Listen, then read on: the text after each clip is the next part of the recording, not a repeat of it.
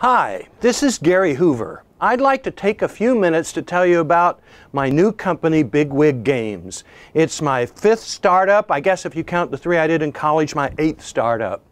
First of all, a little bit about me. I became interested in business as a little kid. I grew up in a General Motors factory town and nobody could answer my questions about business.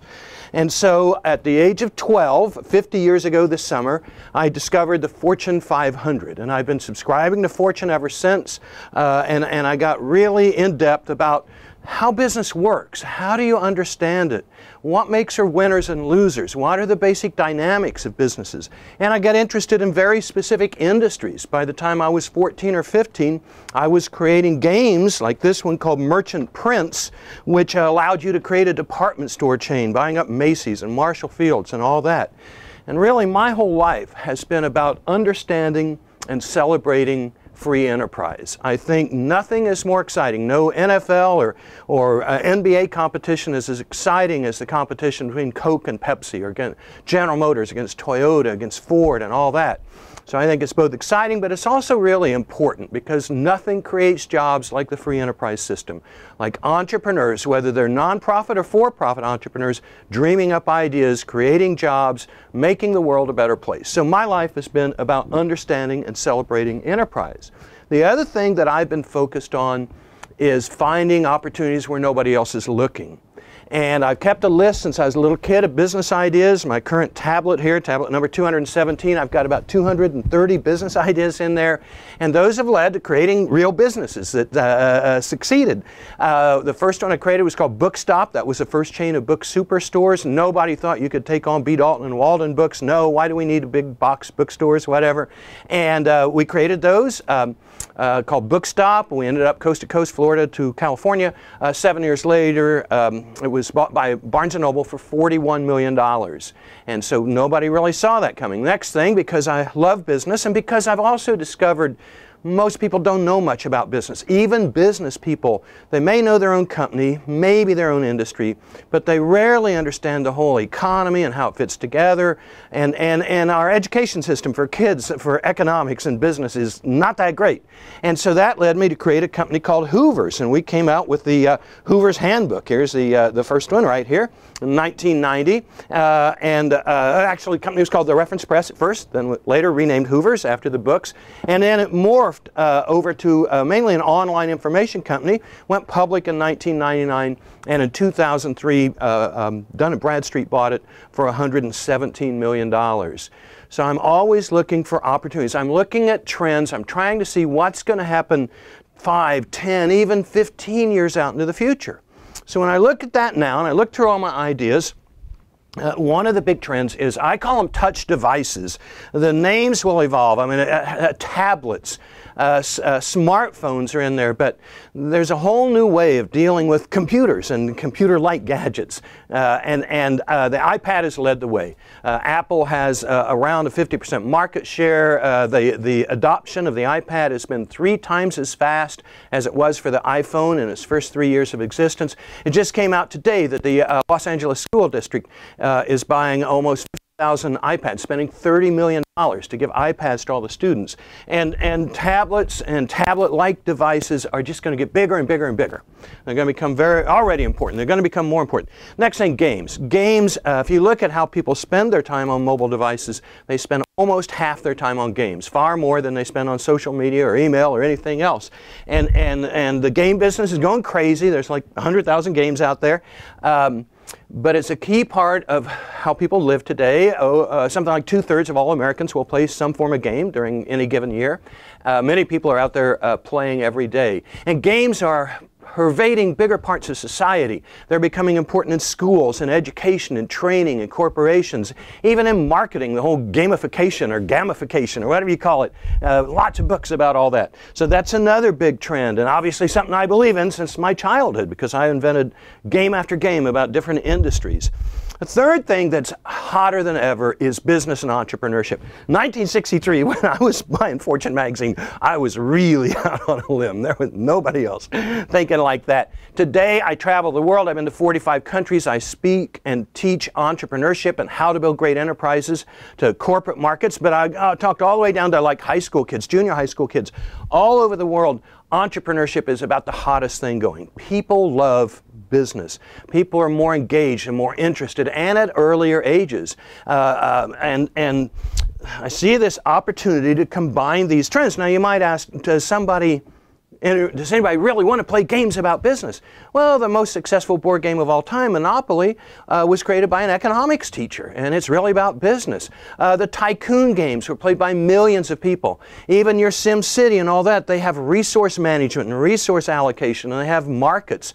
Uh, uh Settlers of Catan, a big selling board game, includes uh, markets and resources and all that.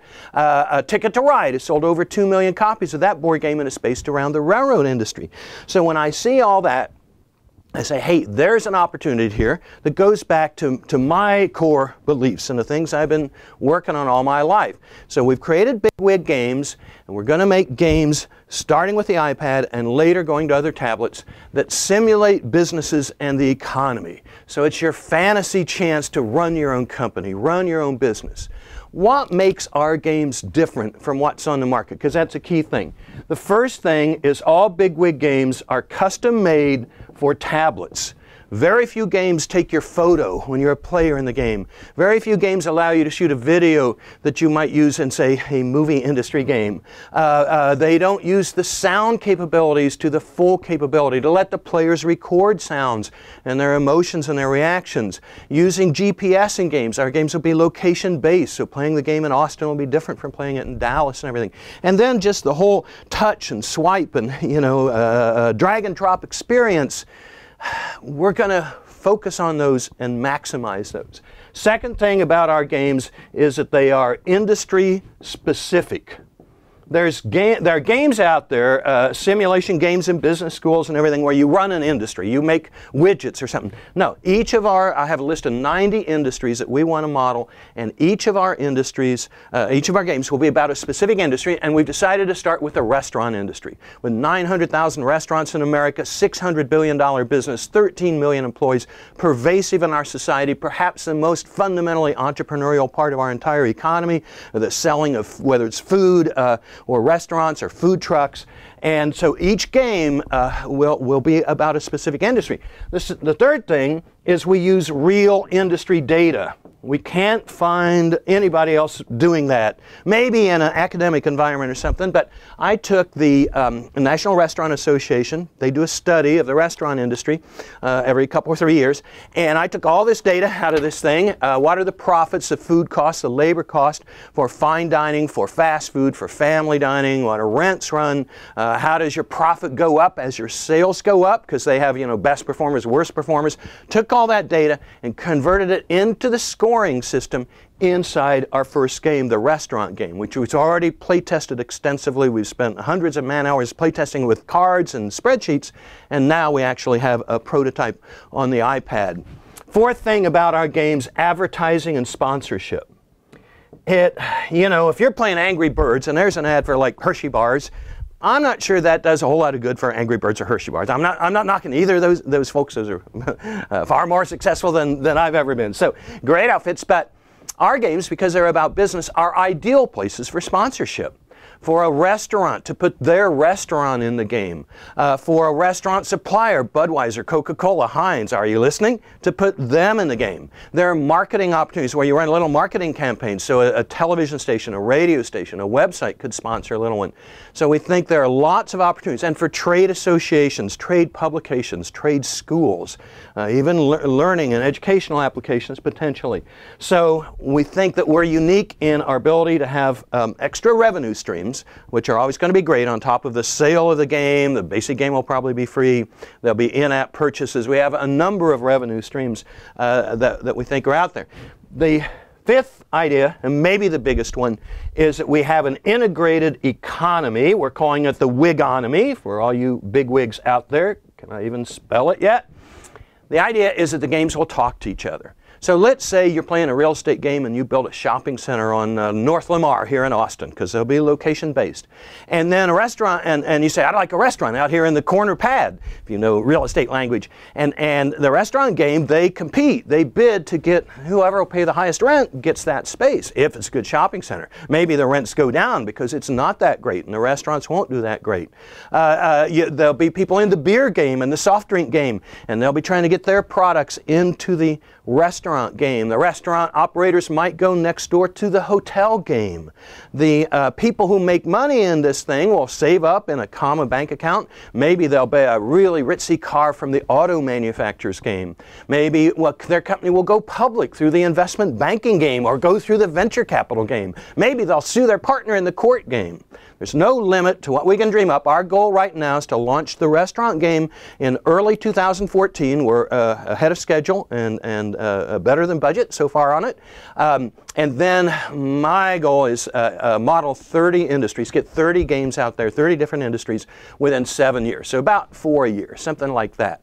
Um, but all, all these things really make us unique, and I think tie into these uh, huge trends. And just, I don't uh, uh, want to show too much right here on, uh, on national television or YouTube or wherever I'm at, but we do have, and you're not going to see too much in the light, we do have a prototype of the game working. You can actually um, open restaurants, you pick a location, you would put it on a map of Austin, um, and you can uh, pick your location. You can pick, I'm going to do fine dining as opposed to fast food or family dining, and it's going to be Mexican food.